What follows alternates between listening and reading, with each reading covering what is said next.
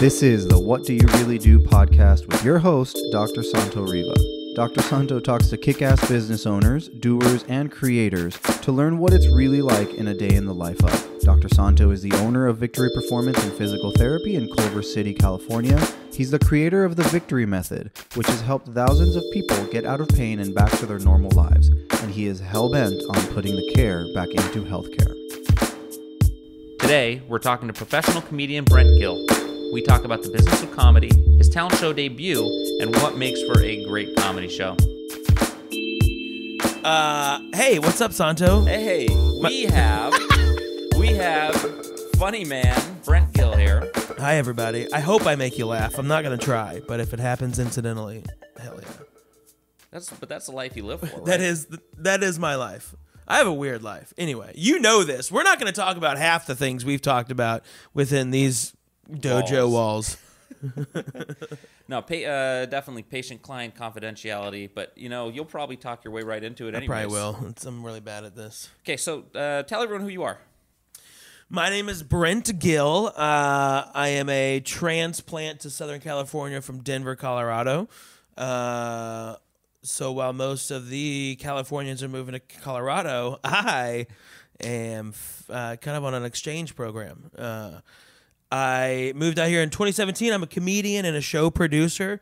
Um, I've been doing that full time f- for three, going on four years now. Uh, yeah, going on four years. I started comedy back in 2006.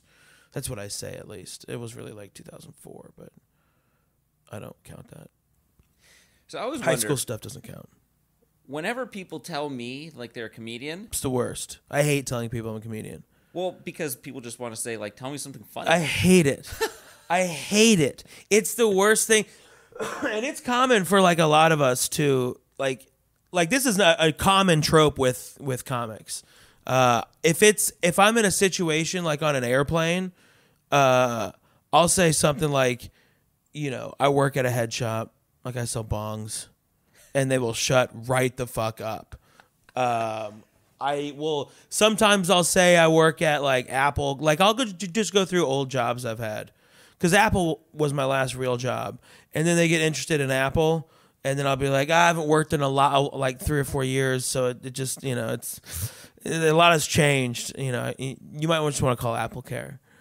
and, and then I, and then I get out of it because the last thing they want is someone dabbling with their phone and screwing their phone up you know, at a bar just because like my calendars aren't working. Why are my calendars thinking? Where are my pictures? but the problem is, you still wear your your Apple Genius Bar shirt. I do wear Apple stuff, but that's just because it's hip out here. I, and I wear it to work out with you. It's not like I'm really wearing it in public. But it makes me want to give you my phone and have you fix my calendar. I'll wear it at a, on an airplane for sure because when my eyes are half mast and really red, they like, oh, he's a professional. So, but do you have like a one liner when like people tell you, "Come on, funny guy, tell me something funny, make me laugh"? Yeah, most times it's not appropriate. It's like normally what I'll say is uh, something along the line. If I really don't want to do it, I'll be like, you know, I don't tell short like like one liner jokes. I tell kind of stories, bits. You know, two, three, four, five minute chunks, and it's kind of like a whole like experience, like a setup. You know, and this is not the right location for it. I'd love to, and then half the time I'll I will have already had made them laugh, do, just being me, or they will like in the in the next two minutes I will get something out of them. With I'm not even trying; it just happens, and I'm like, see, look, you're having fun already. Like you're already having fun. You, don't need to hear one of my joke. Go on YouTube. Go get one of my two albums. Like uh, there's, I got a lot out there that will make me a lot better in your mind than if I just was like, oh, okay, here's a joke. Uh, I started mixing White Claw with Truly, and I call it Truly White. See, that's not fun. Like I don't even it's know what truly is. truly it's all hard seltzer bullshit it's like dumb stuff like that my favorite one that i used to go to was uh i stopped calling my condoms condoms i call them dream catchers keeping the nightmares away but that's not appropriate at a mall uh, in ohio you know So 2006, what happened? Did you get you like, well, 2006 with the funny no, bug? no. It uh, so 2006 is when I did my first two minutes at Comedy Works. That's just why I say that. May of 2006. Uh, I have the date in there somewhere. Um, but I in high school I was in the gifted and talented programs, so we were able to do if you had a certain grade like GPA, and it's it's really like you didn't need any like I could have graduated early, but I was like ah whatever. Uh, so I took a independent study class, and uh, I did it on being a comedian because I was already into it early, like come like it was like ninth grade or something like that. Like like whenever Dane Cook was getting his first half hour special, uh, Carlos Mencia wasn't stealing material yet, um, and uh, Chris Farley was like, you know, in his heyday. Well, the latter part of his heyday. You know what I mean? And so that those were my influences. So I always like mimicked Farley and and you know stuff like that. And then my so that's why I did the independent study. Independent study uh, led to my discovery of Comedy Works. Because I wasn't old enough to be there, I couldn't do it yet. So I ended up doing uh, a show at my talent show, uh, which is sounds cool until you realize that these are everybody that you know. These are all the people that you go to school with. You have to see tomorrow. If you eat it, you're screwed. So uh, I did that. It went really well. That's when I was like, "Yo, this is great." I almost threw up before I went on stage. It was pretty crazy.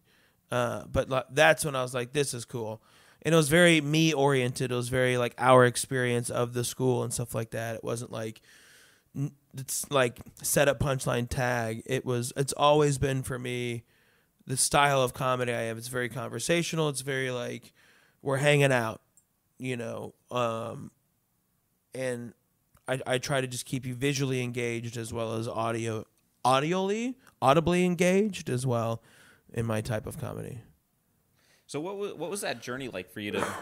I mean, be you were in high school, you said, right? yeah And then to today, like what what's gone on for you to get here, where you're like really like you're Oh, a full time man. comedian a lot and you know and everything. i'm 34 right now so just to put that into perspective for everybody uh, so from like 17 or 18 on uh here we'll just do this so i'll say so i did the show in high school then i uh last minute organized a one-man show in the basement of my dorm room in college at uh, cu boulder and then uh in colorado and then I had a bunch of people come down, probably like 40, 50 people come down. I literally went on everyone. I, I walked the whole building. I knocked on everyone's door, and anyone that answered, I was like, "Hey, I'm doing a one. This this is freshman shit. I'm doing a one man show, uh, comedy show in the basement. Get as high or drunk as you can or want, and meet me down there in an hour." And I did that to the whole dorm, and it was on like a Friday or Saturday, and whoever was there and wanted to came down and I literally was up for an hour. This is the second time that I'd done comedy. And um and then third time I started I went to an open mic uh, at this pla at this brewery in Boulder called the Redfish, which I now run a show, my most successful product thus far in like the building right next door. It like shares a wall with this place. So it's I have this whole nostalgia on the same day of the week. So I've got this nostalgia for that too. But so I did my first open mic there. Then I went to uh I started going to a couple open mics, and then I went to I did my first two minutes at Comedy Works in 2006, and then from there, it was just grind until I eventually like I've I've gotten to open for Dave Chappelle, uh, and I mean like re- like literally open. It was me and Chappelle, and then Ron White dropped in, so it was me, Ron White, and Chappelle. Uh, I've done Red Rock, Rocks twice, which is nine thousand plus people. Um, I have uh, a small spot on Viceland uh, where most of my jokes got cut, um, but not all of them. Uh, and then uh, that show I run in Boulder. So uh, I I've run multiple shows that have failed, and the one, my most successful one is the one that I did do in Boulder, Colorado, called the Boulder Comedy Show. Super original name, but very Googleable. Seven years ago, geotagging was like in its height, and it still is. Like that's how people search. So and so near, you know, physical therapist near Culver City, near eight hundred two one eight. You know, whatever the, the the you know you search. So it was like Boulder Comedy Show. People are gonna search Boulder Comedy, and um the restaurant was brand new, so we came in six weeks after they opened, and as they grew in popularity, we grew in popularity. I had already been doing it for six years already. Um, I started the show in 2013, so I was better, much better at doing comedy and having being a host, because the host will make or break a show. I have made and broken so many good shows because you're the first taste of what they get. Uh, of what the show is. They don't know to them, to some of them who never come to a comedy show, you are the a representative of the establishment. You're not a comedian. You're just like here to be like, "All right, everybody, we're going to start the show now." Is everybody ready? Okay, we're going to bring up the comedians now. That's who they think you are. And they're you know, so uh, it really took a great skill and a lot of time to learn how to host so well to where people started coming for me. And then it wasn't about who was on the show, it's the show is always great. And I was there I did did the show every week for 5 years straight before I moved. And I still go back at least once a month to tend to it and I still book it and promote it from here and run it from here and do everything myself from here. Except I have a guy named Jeff Tice on location that hosts and does my door most of the time now, although he's gotten super busy in his own right. And that's what's great about the show is it really builds that host spot really I mean it's a lot of exposure. I'm going to see 10,000 people at my show this year.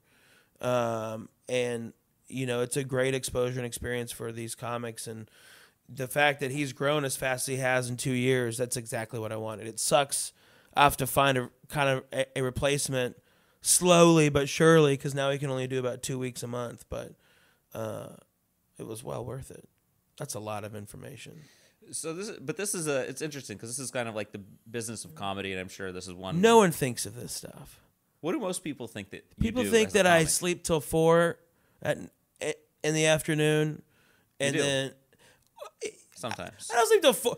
I, I'm a fan of not getting up before double digits. I'm I'm a big 10 a.m. fan. Uh, 9 a.m. I'll like wake up and I'll lollygag in bed till 10. Uh, and then people think that we just like sit around, get high all day, don't and wa play video games, uh, and then go t- just tell jokes at, at night. And that's what a lot of comics do for sure. Like I'm not gonna lie, I got a lot of friends that do that.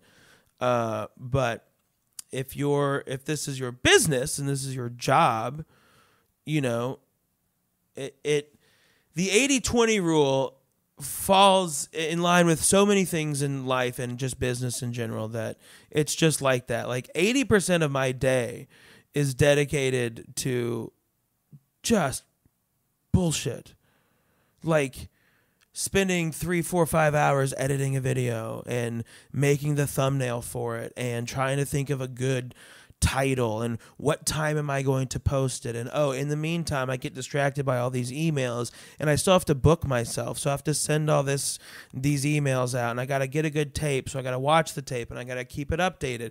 And now it's corporate season cuz we're in November right now. So trying to get gigs for the holidays. So who am I going to send those out to? What kind of companies am I into or would be into me? Uh, how's my social media look? When was the last time I posted? What can I post today? How can I keep them engaged? Uh, wh- what's how do I get people to my? I mean, I can just keep going. My website's not up to. I can just keep going and going and going, and it that's what a professional comedian does in the daytime throw in writing, throw in throw in uh, you know podcast or like creating extra stuff. It's not you can't just do comedy anymore. Carson doesn't invite you over to the couch and your career's made forever.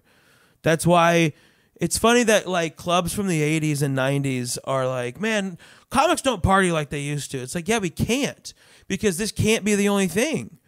We have to wake up at 9 a.m. and do a voiceover recording or do an audition or do a podcast recording or do whatever it is so we can bring in that side income uh, so we can and still try to generate fans because now name of the game is butts and seats.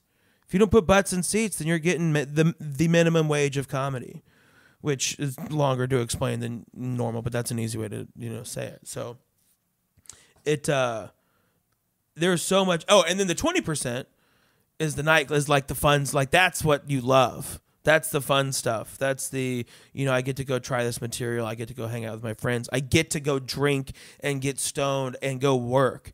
That's pretty cool. It is a pretty cool job uh, for sure. But it's also still like if you're gonna do that, you can't be the guy that you know gets too drunk or gets too stoned and then screws everything up and then gets that reputation and you know so it's just it's a lot also like 80% of my shows don't generate money 20% of what i of my shows ge- generate 80% of my income it's it's nuts how, how this works so it, i always kind of tell people that that there's so many things that you don't see me doing that i'm you know doing like post your stories. What are you doing today? I'm staring at a computer screen for nine hours. Do you want me to do a, a time lapse of that for you? Like, I, I don't know what to tell. Like, yesterday I just posted, hey, I've been doing boring stuff all day. If you want content, go to my YouTube. See you tomorrow. like, I can't, I can't do it all the time. I need an assistant. I need an editor. I need a team. You know, I have the vision on how to take my brand to the next level, but I just need the people and money to do it. What do you think is stopping you from putting a team together? The amount of time, it, uh, two things. Uh, I've been screwed too many times, and not screwed like financially, but more like I'll open up and I'll explain how things like people want information, and I have information, and I don't have a ton of money, so it's a lot of like, hey, you help me, and I'll teach you. Like I'll give you a lot of tools to to do this on your own, and then they get that information and they're gone, because I give it all to them too quickly. Because I'm like, here's what I'm doing. Here's here's the thought because I want them to think big picture too, with me, and then they just so I'm like jaded.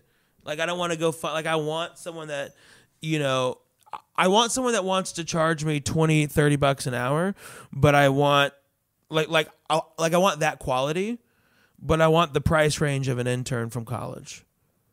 You know, I I don't mind paying people money. I don't have a lot of money, but now that I've stopped paying the bill here, uh, I can I have some extra cash, and I'm like, I'll give some. You know how much money like a five hundred bucks a month would mean to a to a college kid, but I need them to do the quality of of that work, and if I give them everything up front, what's to stop them from like, all right, well, I got what I needed. I mean, I college credit, I guess, but that doesn't really matter for some of these kids. I've got some suggestions for you, but we could talk about it later. Yeah, I I'd love to hear it because what I'd love to do is be able to not fo- spend three hours of the day figuring out a pho- how to Photoshop or what to Photoshop for a freaking thumbnail on YouTube, and then change that for a thumbnail on the podcast, and then change that for the thumbnail on the Instagram. Like. Yeah. I, I, I got to do three different variations of the same video, and it takes my whole day up for one post Yeah. and I can't think about other things I want to do. I can't write. It's just it's like you know I got the plan, but it, it's it, you know eventually I will do it, uh, and, and and I will have that, but it just takes longer than I want. Yeah. Well, i in short, um, I mean, when I first started, and I was running into some of the same problems where like you're just you're so split between doing so many different things. Um, I I learned how to leverage some virtual assistants, uh, and I'll give you the link for that. Yeah. But you find somebody who's in a different country. Fiverr is one place to go. But I've heard can- about Fiverr. You got to sift through a lot of shit though. Yeah, yeah, that's why like if, if you know somebody like me that has a, a link on some some virtual assistants that do pretty good work. Interesting. um, I'll, I'm so I'll into with that. Yeah, yeah, yeah. I'm And, so into that. and you're helping people out there. I mean, the the, the you pay a lot less for someone in another country, uh, truthfully, Yeah. but you're you're But you're them out. that five dollars goes a long way in Singapore. Yeah. You know what I mean? yeah, Or wherever they are. yeah, yeah, exactly. So Um, probably Panama, so Philippines. I mean, if yeah, if, if you weren't Philippines. if you weren't uh, having to do some of this stuff, like what what's the creative process? How do you are you like, oh, I'm gonna like just write something that's really funny, or like is that just you're a funny guy and so it just comes naturally? Like, what do you do? uh, I, I don't. I mean, I've heard your story, so I like I know that sometimes it's just uh, your life is a lot of it's my life. M- majority of it is is my life. So I don't I don't uh, just sit down and be like, all right, what's funny? You know, I don't do that per se. I do sit down. Oh, okay. So I'll live my life. I'll go through the day. Here, here. Let's just use a great example of something that happened. Uh, let's see. Where are my jokes? All right. Last thing. Jesus. Okay. So I'll write. Let me mm, choose a different one, but I'll, I'll write a thought down of just living my life. So a dude outside of my, my show on Fairfax at Canter's Deli, this homeless guy, at, who I see a bunch. His name's Terry. He's a great dude.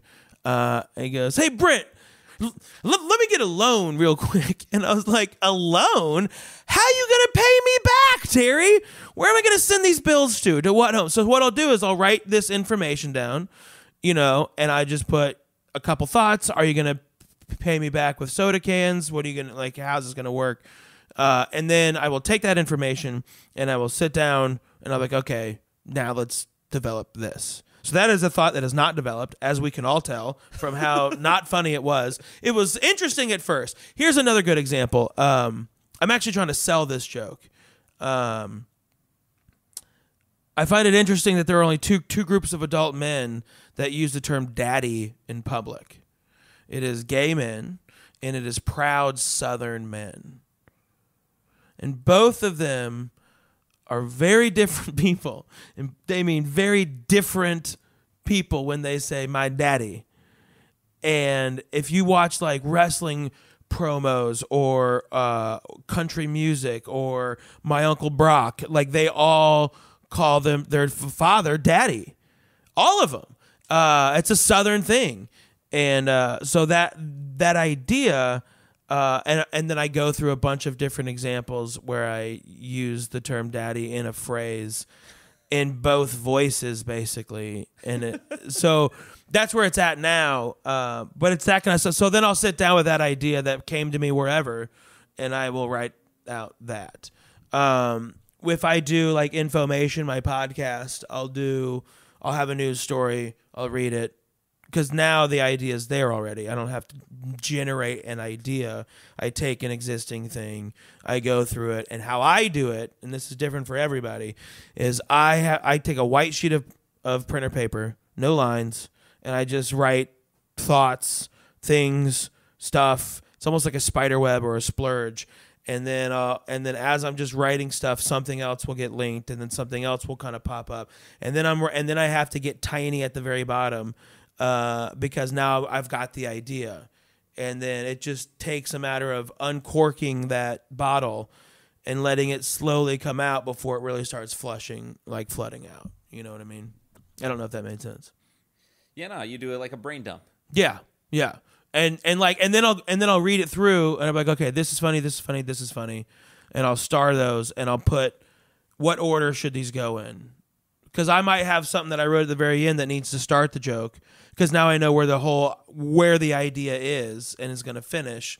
So I'm like, okay, well, this is going to start the joke. So I'll do one, two, three, four, five, whatever, and then I'll take it to a show and I'll do it and I'll record it and I'll listen to it or I'll just note it right there. Okay, this didn't work, and I'll try it a couple times in its full form.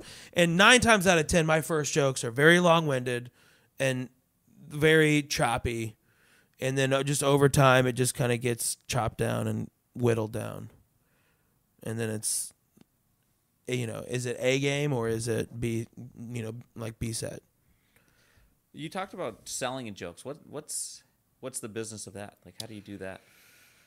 uh you just find yourself in it all of a sudden. Uh, I I'm not in it. There's one guy that I know that you know will will buy ideas or, or jokes and then he'll make them the, his. Um, and it's mostly because he tours arenas all the time.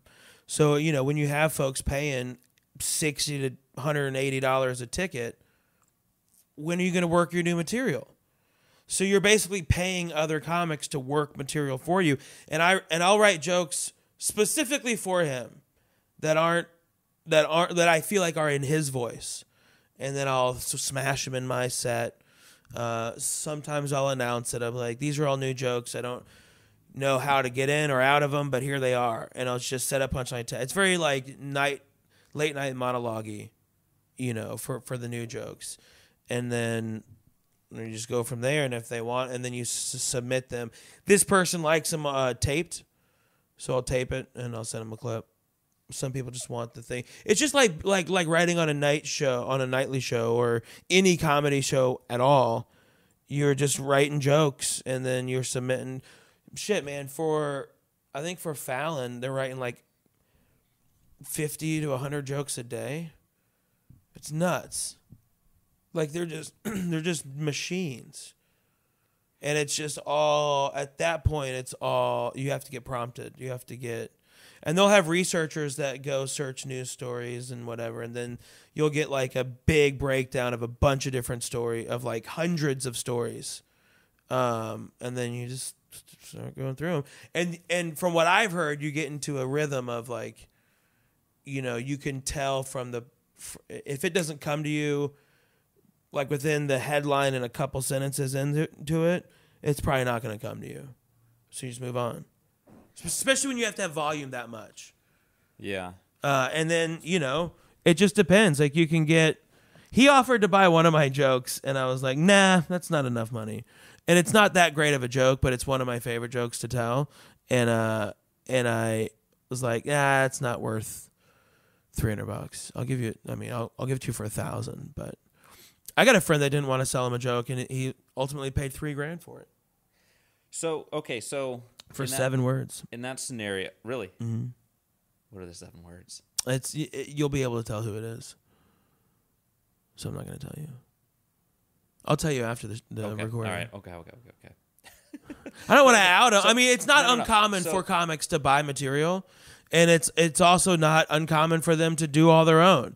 Uh, but you know the the the thing is when you're a touring comic and you're always doing the road, this dude is doing 90 concerts a year.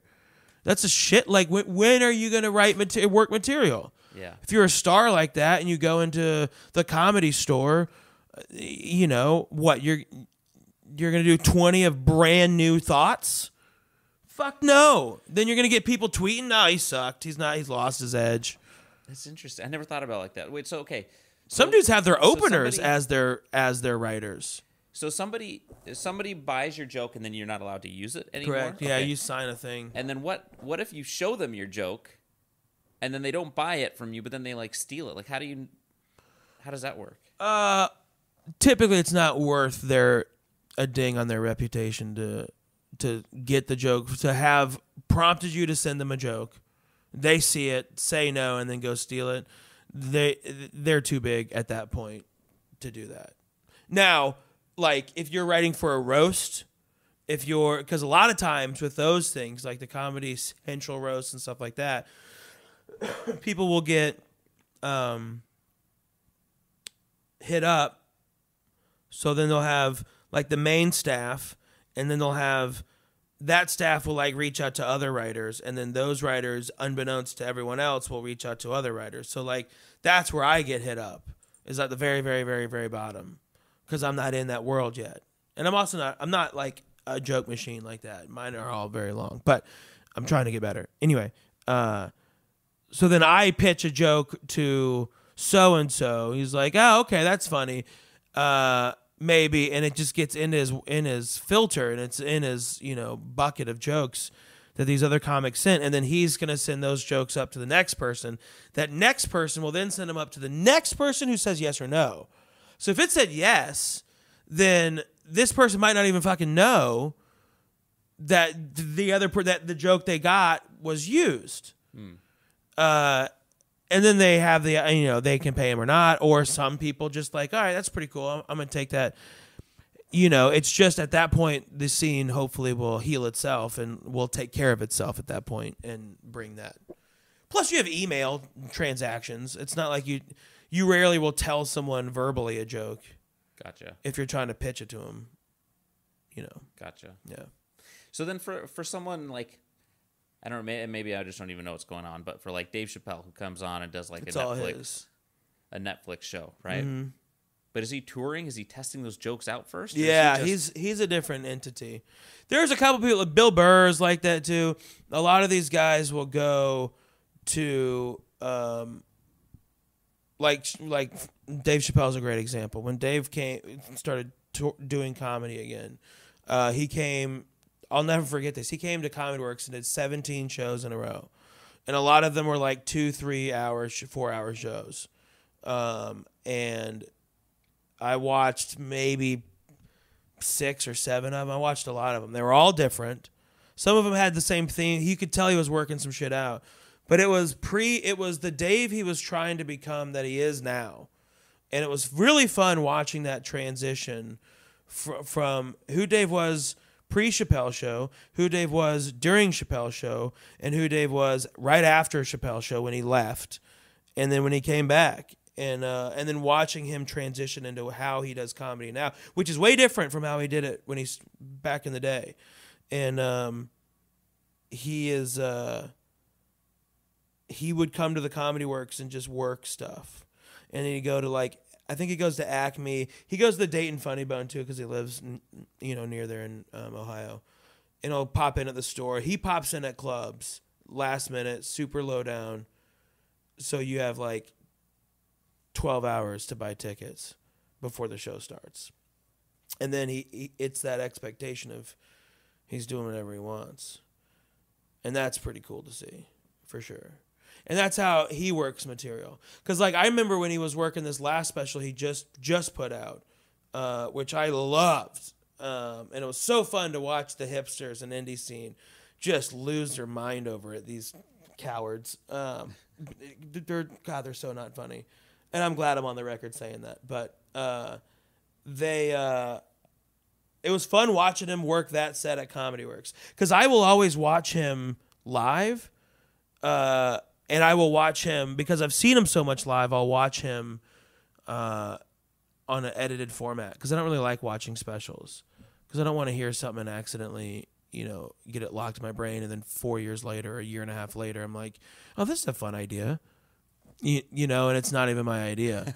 uh, but I'll watch him because I want to see how his delivery is and how they edited it knowing how knowing how I know he is live, and especially because he was actually working pretty close to this set then at Comedy Works, and it, that was fascinating to watch for sure. But he can go out and work material. So A lot of comics do. A lot of big stars do go out and work material, but you know it's not. Some comics buy mat- jokes. It just depends on who they are. who are some of the people that influenced you? Or that you look to for inspiration or like does it work like that? Yeah, uh, I'll start with the big stars, and then I'll move down to like my local people when I was young. Uh, so when I was super young, it was Chris Farley, and then it was super, and I'm not afraid to admit this, it was super early Dane Cook. I'm talking like when he wore that black tank top on his half hour special and poured water all over his head. No one knows what jokes he told, but he did that snake thing where he poured water on his head and he slithered. It was nuts. And he walked on tables when he walked into the show. You know, uh, that guy. Uh, first comedy special, Carlos Mencia on uh, for the half hour special, uh, and then it moved on to. From there, my dad was like, "All right, you like comedy." Then he bought me uh, two Pryors, two Murphys, uh, a Carlin, and a Seinfeld, um, and a Dangerfield, and then um, and then my biggest influences of all is Patrice O'Neal, followed by Bill Burr. For sure. No question in my mind. It's Patrice. If I could be like Patrice in in a lot of ways, Boy, that'd be great. But he, uh, I wish he was still around today to be to be Patrice in 2019.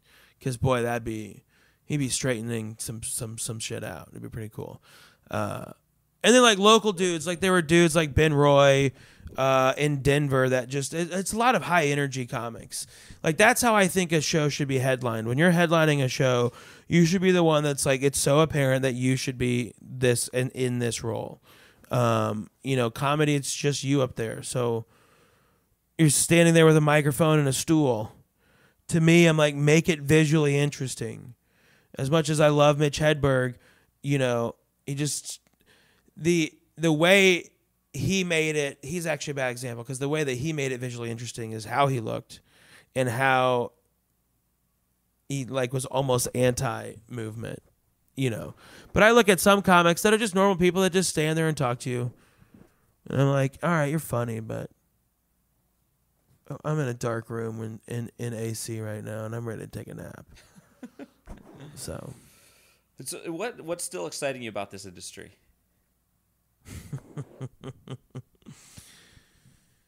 Honestly, the only thing that I'm still excited about is the potential. At at this point, this industry is uh, I'm in a weird place. You do it for a long time, you know, and it anytime you turn a hobby into a job, it loses that allure, you know.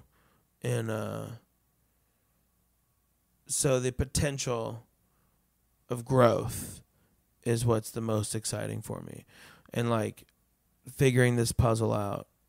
How do I find a way to to get my because I don't just want fans. I don't want people just watching my stuff and I want people to be like and this is going to bite me in the ass as it always does, but I want people to obsess. I want people to be like I want to know who you are all the time you know, there's people I follow on Instagram that I'm I feel like I know them more and more, and uh, you know that's a commitment on my end that I haven't made to them yet because it's also kind of scary because YouTube fans can get kind of nuts. So it's it's creating those raving fans. Yeah, it's creating those fans and giving that like having folks like appreciate the things because at this point it's it's you know I'm funny so it's just like how do you, how do I want to nurture myself? What do I want to create? Because it's just a matter of just creating now. Just go put stuff out there for people and be excited about what you're making. Because at the end of the day, you have to go home and sleep on what you made. And, uh, you know, having the confidence to put your name out there and put your product out there, that's pretty exciting. And, um, you know, it sounds so stupid, but just growing and getting better and getting, you know, getting into this scene more and more because, you know, Hollywood is the mecca of entertainment, but it's still a scene. Just like Denver is, just like Austin is, just like Atlanta, Portland, and New York. It's still a scene, and you still have the scenesters, and you still have people that you have to, you know, work around here and impress here. That won't mean shit in Iowa, but it certainly makes you happier and better here in your home. You know, so it, it's uh, it's just a fun puzzle to figure out. You know, In five years, where do you see yourself? Where do you want to be? in five years, I could see my.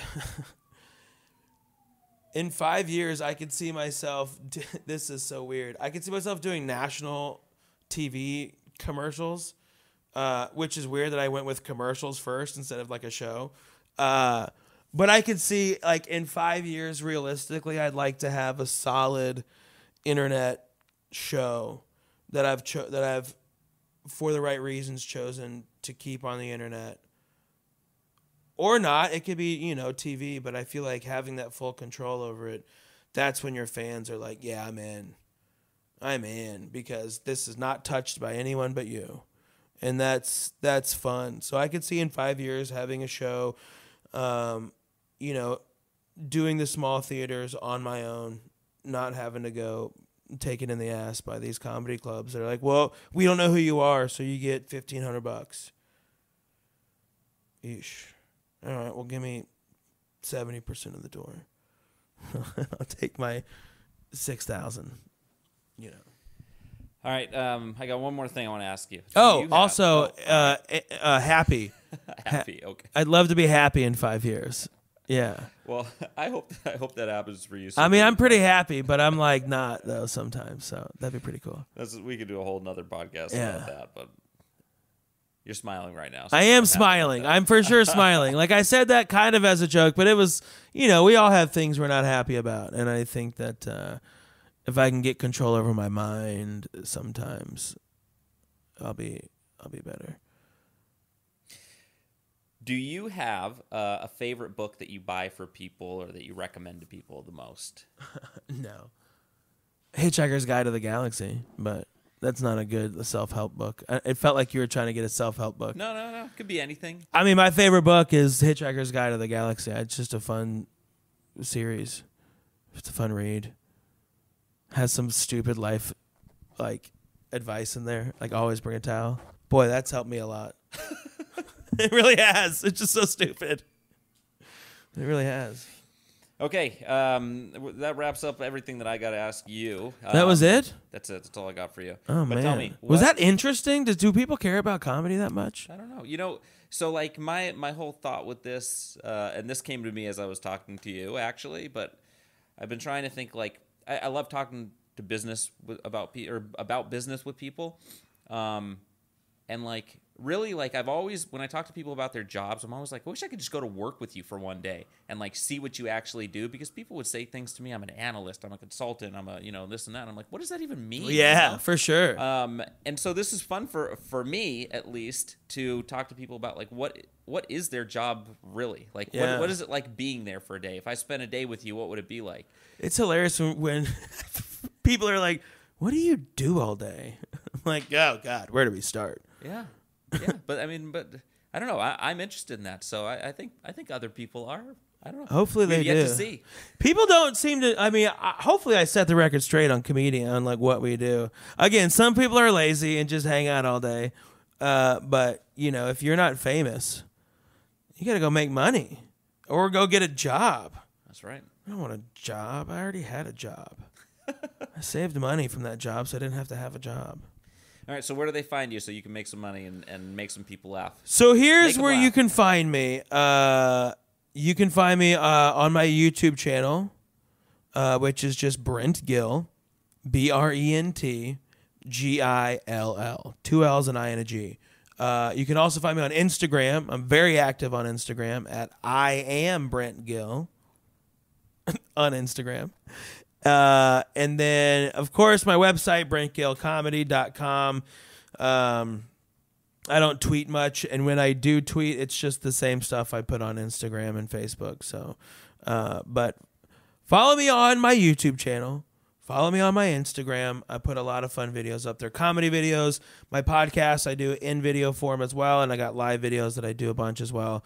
And then, uh, and then if you want to, you can help support me, put out more videos, and hire an editor, and you can be the first person to subscribe to my Patreon because I'm at zero still. it's uh, uh, I I think no one wants to be the first one to do it, so I'm like thinking about setting up a burner account and just being my own first first customer on Patreon. I don't tell care. everybody I don't care. that, secrets Uh, but eventually I'll get it, and I just wanted to have it like set up now. Uh, but it's just five bucks, and if you sign up for the first, the first hundred people that sign up for it are grandfathered in for life. So no matter how I change the whatever, they will get the most out of every tier for that first five bucks. boom That's There pretty good. is. That gave them something. there it is Eventually, I'm gonna have like a ten dollar tier where I have extra content, but you can just give me five. i'm on it i'm gonna be the first one Fuck yeah, Santo. That's what I'm talking about. i got you So yeah, right. I am Brink on, on Instagram. YouTube is uh, Brink Comedy. No, just Brent Gill. It's something like that. You'll find me. follow this guy so you could say you knew him back when That's true. all right I'm gonna monetize my videos so I can also make money there. there you go my brother thank you I wish thank you thank you I thank wish that last part was funnier because it was in my head, but it was not. So, all right, let's go work on the shoulder blade. let's do it All right.